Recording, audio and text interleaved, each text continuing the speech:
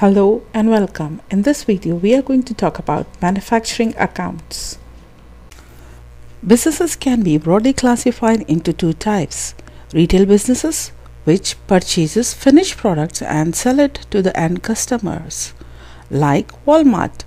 Other businesses manufacture their own products and sell it to the customer, like Ford and Tesla as these type of businesses produces their own product for sales it is quite natural that these businesses will determine the costs incurred in producing the product which is done by preparing manufacturing account.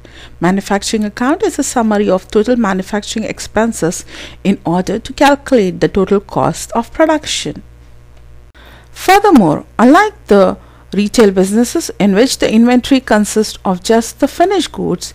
In manufacturing businesses, the inventory consists of raw material which is purchased for manufacturing the goods, semi-finished goods which is termed as work in progress and finished goods. Moreover, while making final accounts for manufacturing businesses, we also clear, we also prepare an additional manufacturing accounts. Let us now consider what are the various costs posted in this account. To begin with, we record all the direct costs in the manufacturing account. Direct costs consist of direct material, direct labor, and direct expenses, and together the accumulation of all these direct costs is termed as prime cost. Direct material is the cost of purchasing the raw material as well as the cost of transporting the raw material from the supplier to the factory. Furthermore, one of the uh, uh, other important term which we use when we are recording direct material is the cost of material consumed. The cost of material consumed consists of the opening inventory plus purchases plus all the other transportation charges in acquiring the raw materials minus the closing inventory at the end of the year. Next, we record direct labor. Direct labor is the cost of wages paid to the employees who are directly involved in production. For example, the wages of the carpenter for a furniture manufacturing business. Next, we record all the direct expenses which are incurred in producing the product, like royalty, license fees, patent rights, and know how. These are all the direct expenses which are required when we produce a product. Together, all these direct expenses, as I stated earlier, is termed as prime cost. Once the prime cost is calculated, we sum up the total cost of factory overheads. Factory overheads are those overheads which are indirectly involved in the production process. This involves indirect material, indirect labor, and other indirect expenses.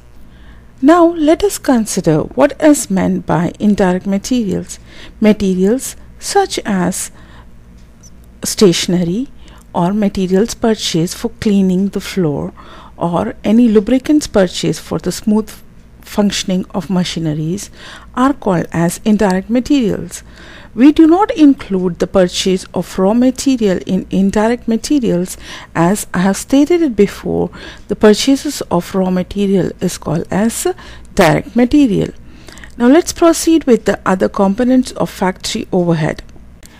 Indirect labor excluding all the direct labor wages paid to those who are involved in production, the wages paid to the other staff of the factory which ensures the proper running of the factory like the supervisor's salary or the wages paid to the cleaning staff or to the administrative staff is termed as indirect labor.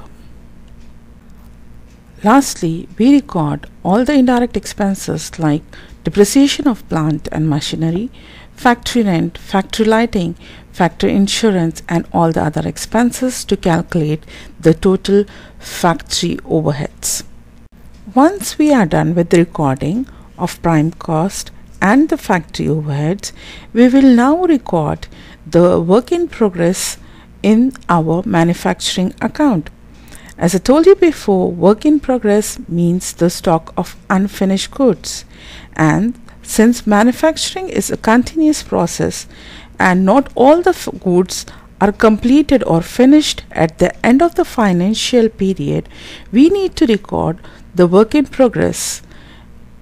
For this reason, we add the opening value of work in progress and subtract the closing value of work in progress to find the total cost of production.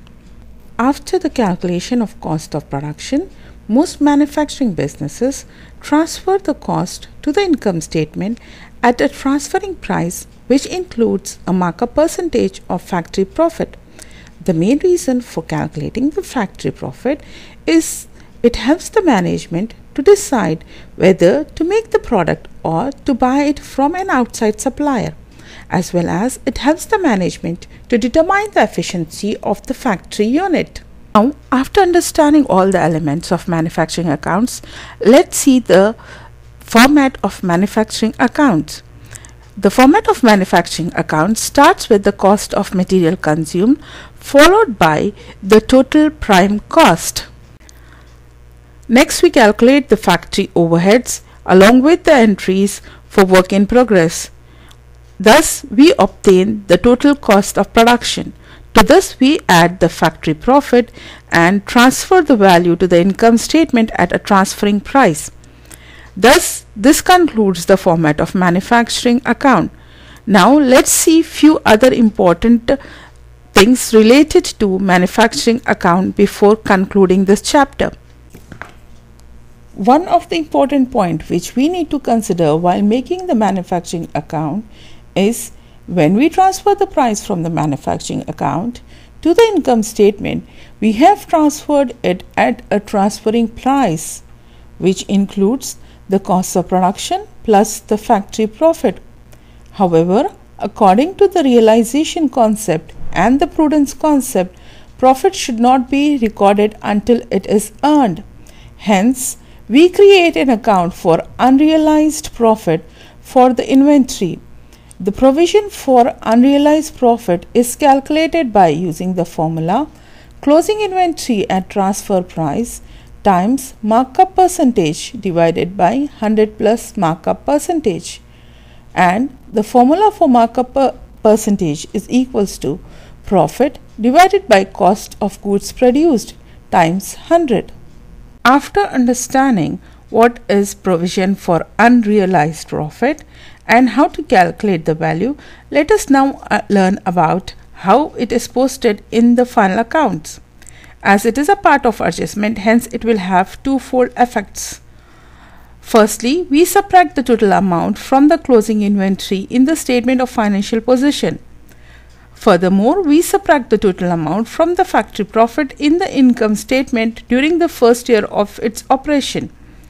And in the following year, we find the difference in the provision for two successive years. If there is an increase in the provision, we subtract it. And if there is a decrease, we add it to the factory profit in the income statement, which concludes the overall entry for unrealized profit.